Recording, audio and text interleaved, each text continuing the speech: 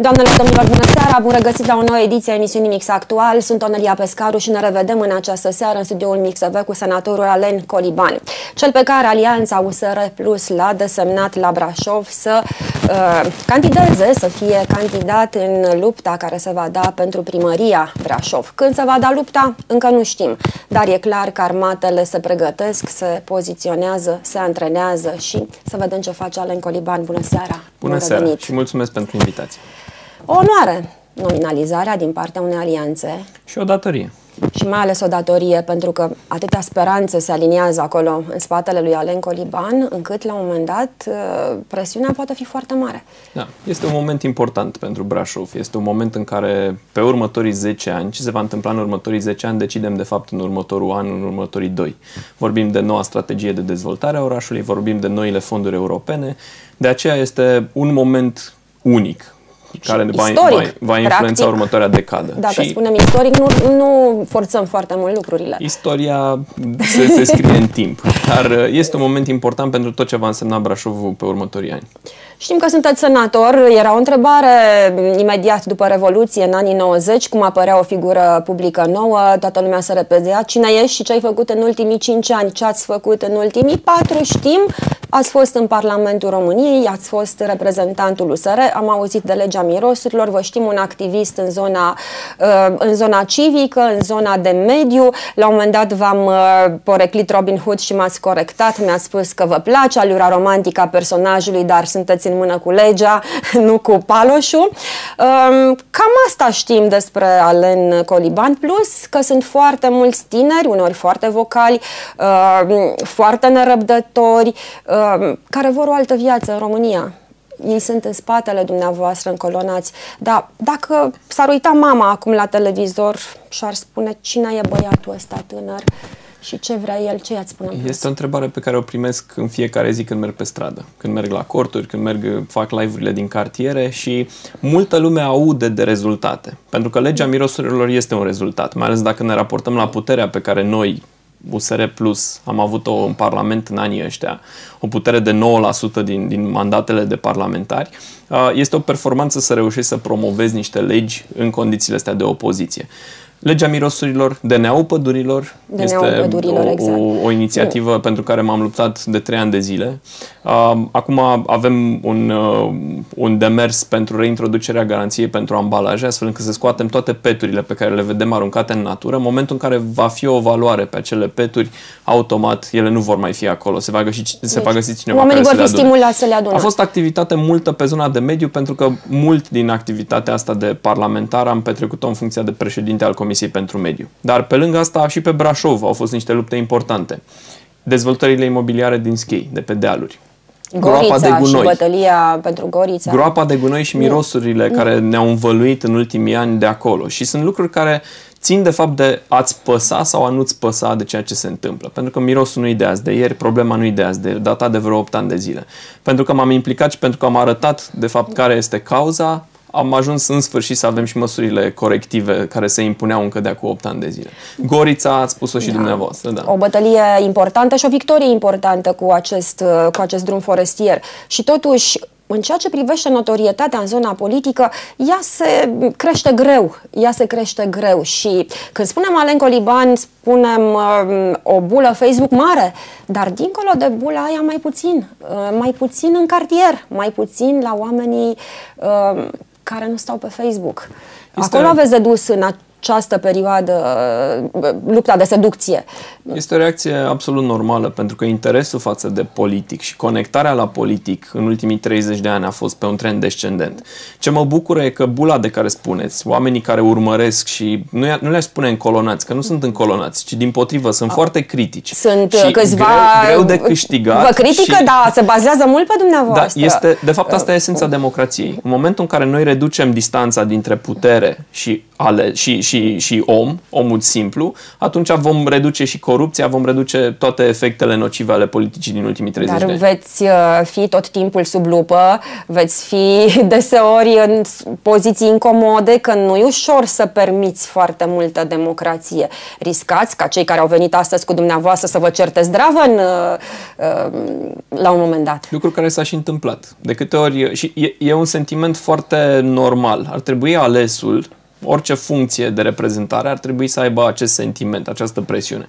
Pentru că, că e singurul mm. mod în care poți să, să rămâi pe o linie dreaptă și în care poți să și progresezi. Ăla în care cineva te evaluează. Iar dacă e să, să judecăm practic, noi suntem plătiți din bani publici angajați, suntem angajații oamenilor. Ar trebui angajatorul să vină din când în când și să facă gestul ăsta de adevărat, de declarativ, așa spun toți, dar știți cum este la un moment dat. E bună. greu să mai accepti. Eu am văzut mulți lideri care au crescut aici sub ochii noștri în acești ani și știți ce frumos grăiau toți la un moment bună dat. este și... că, cel puțin pentru clasa politică nouă, și scuze că v-am întrerupt, se produce acest, acest accountability, acest tras la răspundere. Și chiar dacă uneori este incomod, pentru că uh, vorbești cu oamenii și zic, ce așteptări să am de la PSD, de exemplu. Nu am așteptări, dar de la tine care vii și spui că faci lucrurile altfel, am așteptări. Și e normal să fie așteptările astea, e normal să dăm socoteală, e normal să, să, să uh, ne raportăm la ele, pentru că doar în felul ăsta vom ține o ștachetă sus. Nu vă sperie, deci, uh, presiunea celor care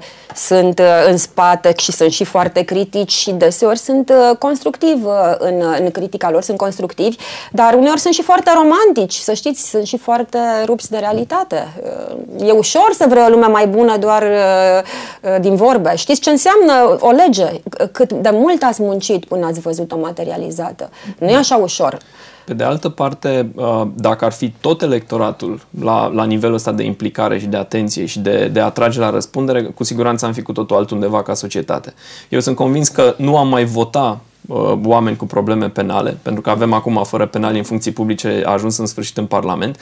Nu am mai vota primari care promit și nu, nu, nu livrează ceea ce promit.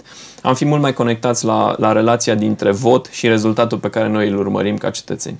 Bun, să sperăm că într-adevăr acest an 2020 uh, va fi anul de care spuneați, în care lucrurile se vor schimba în acest sens. Cel puțin la nivelul transparenței e clar că s-a dus vremea în care exista un monopol al unor instituții de presă, când exista uh, o anumită de, directivitate, da, deci era clar, toată lumea vorbea aceeași limbă. Acum uh, ce nu spune unul afli din altă, din altă zonă și oricum totul uh, apare pe, pe Facebook sau uh, de unde nu te, de unde nu te aștepți. Și este bine că se întâmplă asta, pentru că avem, iată, cu adevărat democrație din punctul ăsta de vedere, cu avantaje și dezavantaje. Este. De multe ori e perceput ca zgomot, ca vacarm, ce se întâmplă în jurul politicului, tocmai pentru că este și, un, și o luptă a percepțiilor. Dacă ar fi, și asta le zic multora, dacă ar fi un examen să scrii pe o foaie, ai trei ore, să scrii pe o foaie ce, ceea ce vrei să faci tu ca primar, m-aș simți mult mai, mult mai sigur și mult mai confortabil decât jocul ăsta al formelor fără fond. Pentru da. că foarte puțin se ajunge la ce ai produs cu adevărat. Și acolo da. n-am o problemă să țin capul sus da. pentru ce am livrat în ăștia trei Din ani păcate nu se ajunge pentru că oamenii nu au răbdare și deseori nu au capacitatea să înțeleagă da? Uh, profunzimea acestor mecanisme. Așa că repede, repede, cine e băiatul ăsta tânăr? Că nu mi-ați spus. uh, am 41 21 de ani. Mulți sunt înainte. tatăl a două fete minunate. Sunt brașovean. Sunt, am copilărit în șchei, sunt dintr-o familie de șcheni. Copil um, de Bangata? nu, nu, nu. um, am, ce e mama? Ce e tata? O întrebare care mi se punea și mie când eram mică. Tata, uh, tata uh, din păcate, nu mai este printre noi. A fost profesor de fizică, inclusiv la Universitatea Transilvania și uh, multă lume mă întreabă de unde numele ăsta Alan. De fiecare dată le spun că e datorită Că nu e de la Alain Delon. Nu, nu, nu, nu, nu.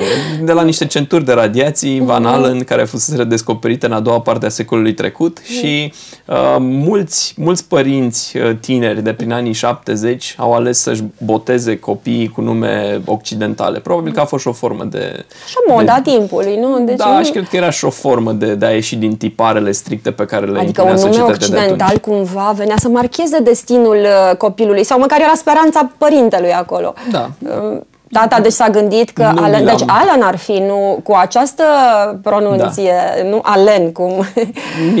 Pronunția o las la latitudinea interlocutorului de fiecare dată, nu sunt pretențios, dar uh, e un nume ciudat, aparte, dar de care eu mă bucur. Mie îmi place, mie e drag. V-a Mie e dragă fost, și povestea din uh, spate. drag când erați mic, când ești mic, să ai un nume puțin mai altfel decât restul, te poate face ținta ironilor, dar te poate face și un erou în uh, mica ta Cum comunitate. spuneam, am avut colegi de generație pe care am avut Doris, Polixenia, Maximilian, adică... Eu am nu avut e- un nu Decebal. Era, nu era ceva atât de ieșit în comun de atunci. Nu, doar când am ajuns în politică uh, au fost oameni care s-au legat de treaba asta cu Cum numele. mă să votăm, ăsta e român, apropo de... Deci român jet pe jet, Da. uh, Alen, uh, Alen Coliban.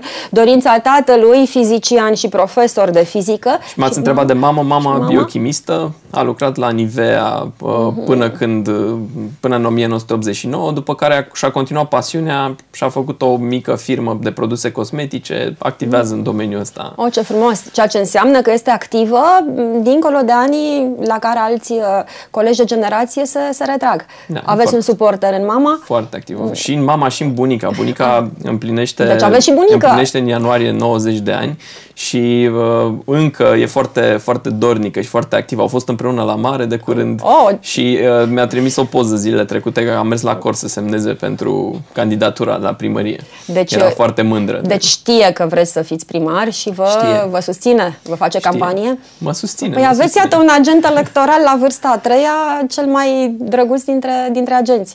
Da. Uh, O scoatem pe bunica și spunem ce-și dorește. Avem, am în bunica și un sfătuitor. E foarte conectată la tot ce înseamnă politic. Se uită, urmărește știri, oferă feedback. Deci, Nu e tot- din toată zona care mândria spune că pentru tinerii om. ăștia din ziua de astăzi, vai de mama lor, ce facem cu ei? Uh, Dumneavoastră sunteți foarte tânăr pentru ea, oricum. Uh, uh, Da. Da, deci aveți un suporter și un, uh, și un sfătuitor. Um, Am înțeles, uh, sportiv, Alen Coliban, uh, pasiunea dumneavoastră pentru sport iar stârnitoare și ce comentarii că, um, vezi, Doamne, dacă ești așa sportiv, da, dă bine la un anumit public, dar um, asta e pe pârtie toată ziua, e cu bățul ăla, cu mingiuța.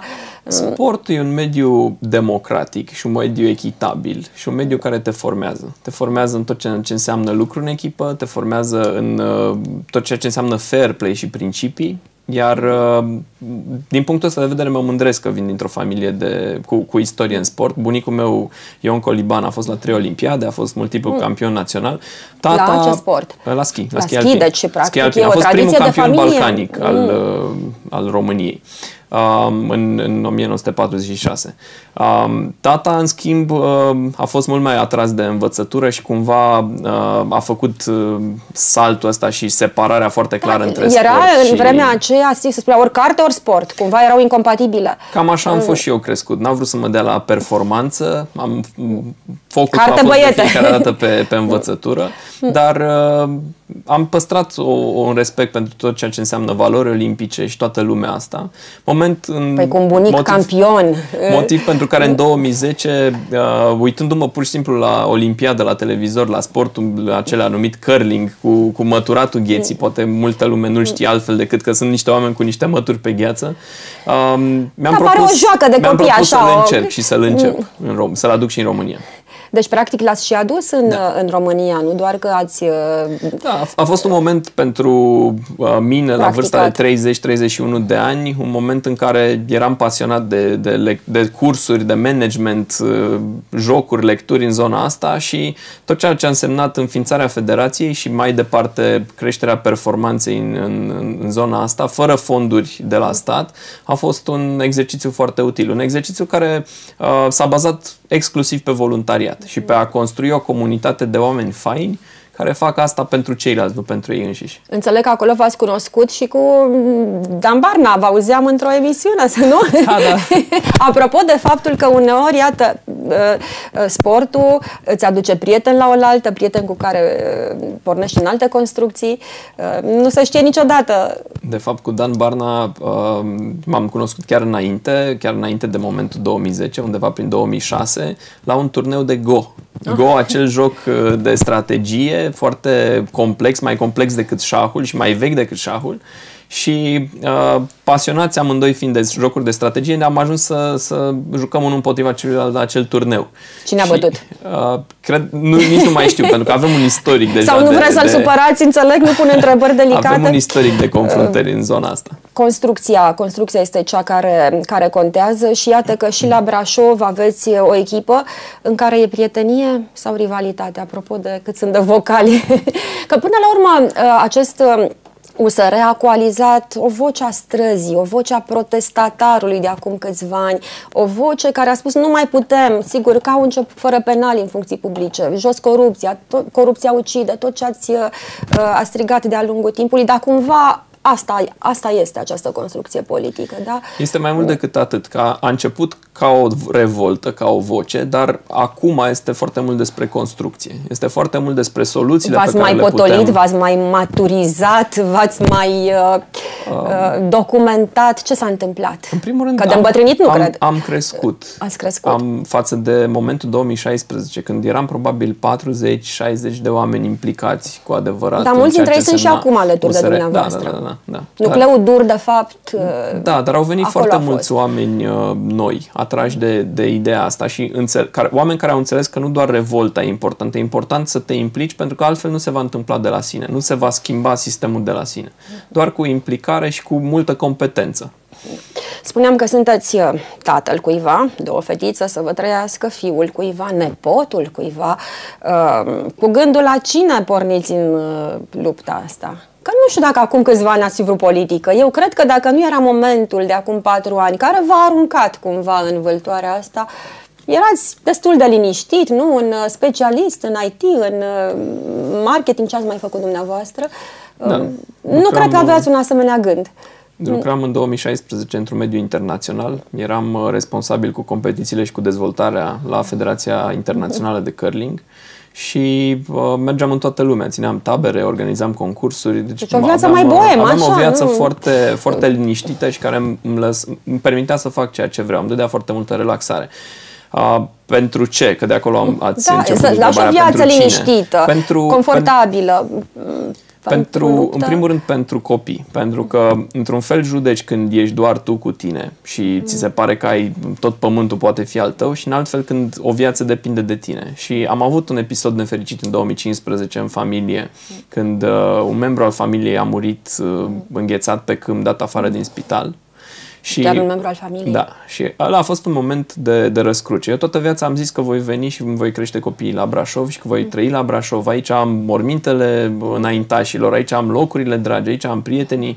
Uh, într-un moment din ăsta în care vezi că sistemul medical te poate omorâ la modul propriu, îți pui problema ce faci. Poți să-ți permiți pentru, să riscul ăsta pentru copiii tăi și atunci ori pleci, ori te implici, ori faci ceva și am ales să mă implic, mai ales că am găsit oamenii care să gândească la fel și să, să înceapă mișcarea asta de la zero. Strict în lupta pentru primărie, mă implic în primul rând pentru Brașov, să ajungă Brașovul așa cum ne-l dorim cu toții. Că sunt convins că dacă stăm dincolo de lumini, de reflectoare, de orice, agrem că are niște probleme mari, agrem că poate mai mult, agrem că e nevoie de, de mai mult decât Dar mulți dintre acum. noi nu știm cum. Știm că nu vrem așa. Um, uh, în primul rând, cred că e nevoie să, să-ți pese. Și cred că ceea ce vedem acum ca probleme sunt rezultatul nepăsării. Nu poți să stai într-un oraș care miroase e să nu faci nimic. sau incompetență? Sau... Că la un moment dat poate îmi pasă, dar dacă nu Eu știu... cred că este nepăsare. nepăsare. Și cred că de la un punct încolo pentru ceilalți, pentru cei pe care îi reprezinți, nici nu contează diferența. Nu. Pentru că nepăsare sau fie... incompetență e același lucru, Eu tot vreau un să rezultat fie bine. prost. Spuneam că avem, avem un primar care spune că nu, nu are pârghii. Deci, George Scripcaru a spus asta într-o ședință de Consiliul Local, că el nu are ce să facă, nu are pârghii. I-am oferit toate pârghile, am zis, uite, astea sunt soluțiile pe care le poți aplica.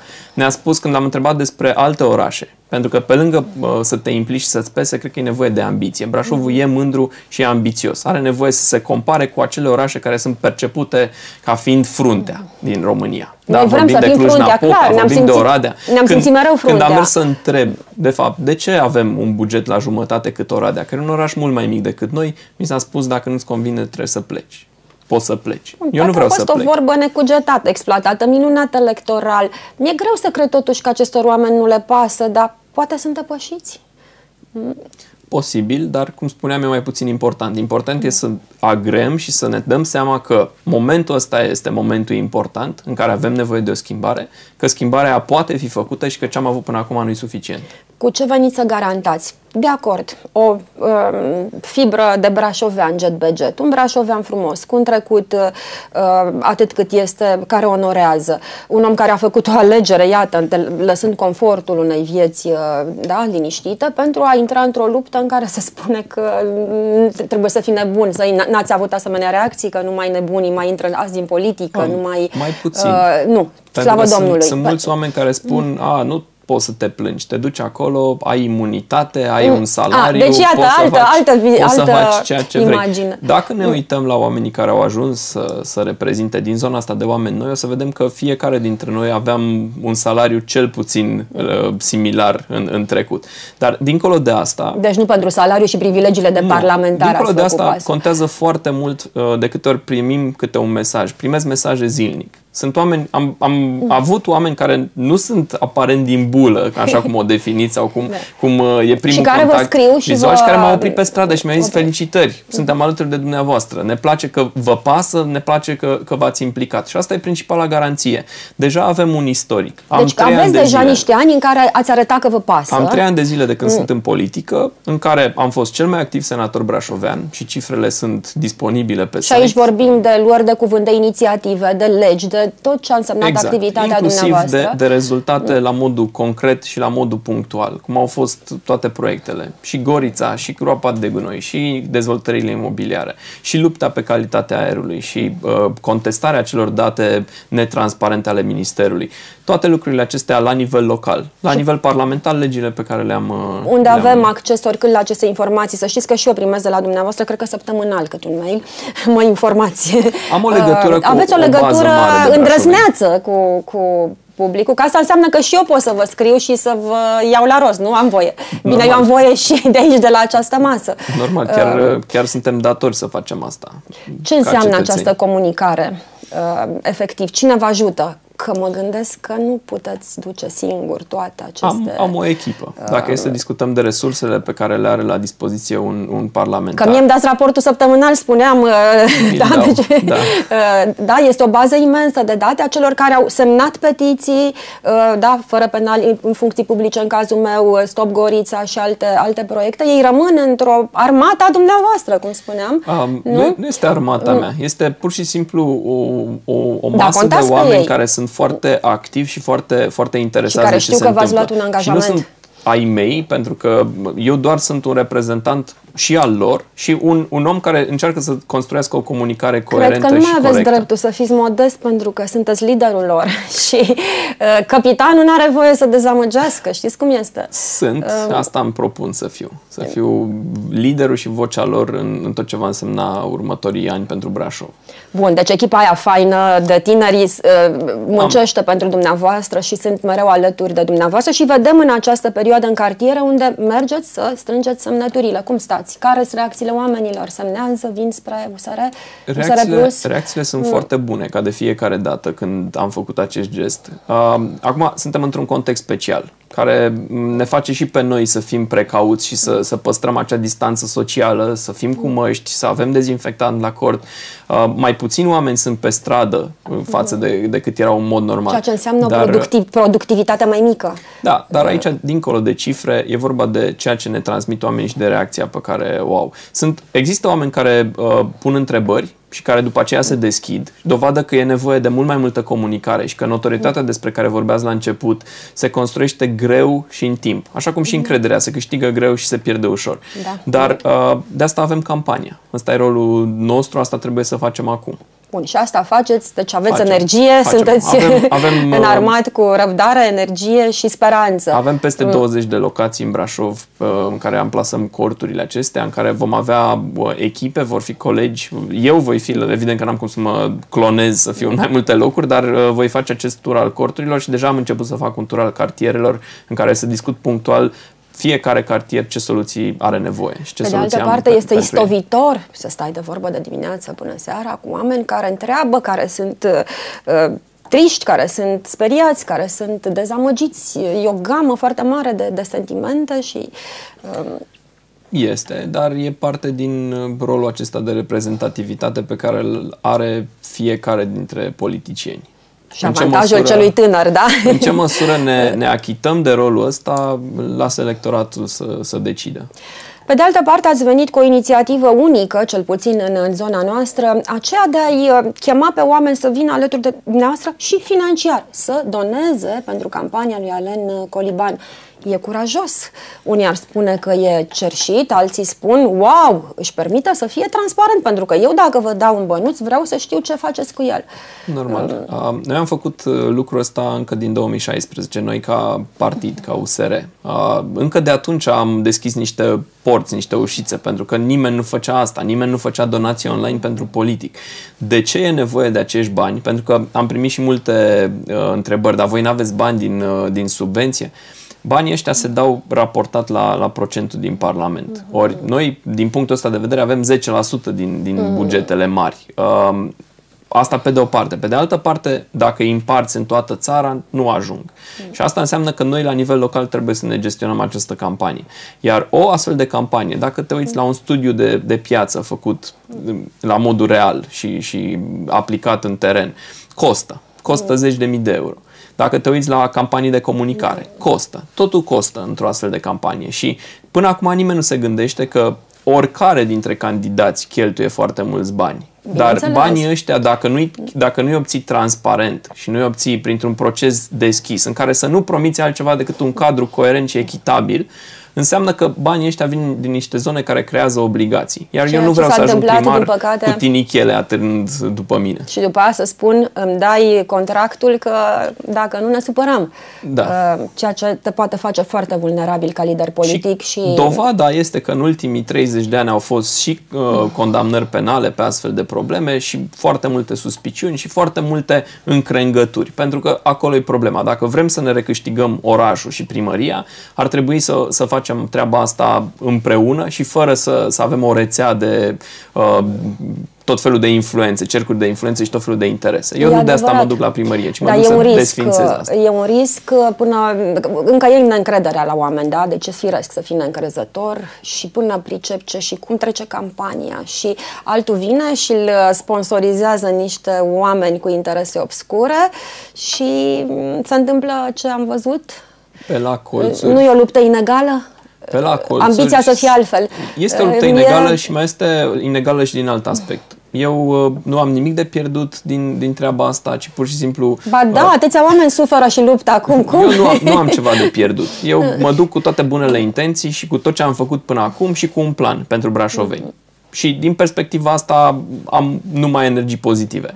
Uh, pe la colțul se vorbește că este o luptă pe viață și pe moarte și că cei pe care vreau să-i schimb sunt, inclusiv libertatea lor depinde de rezultatul unei astfel de lupte și că nu se vor da înapoi de la nimic. Dar Asta rămâne de, de văzut. Am dacă... mai văzut în campaniile electorale episoade dramatice. Nu vă temeți? Nici o amenințare până acum, din nicio zonă, nimic mai mult sau mai puțin voalat? Apropo, se vorbește pe la colțuri, de a vă întreb și eu.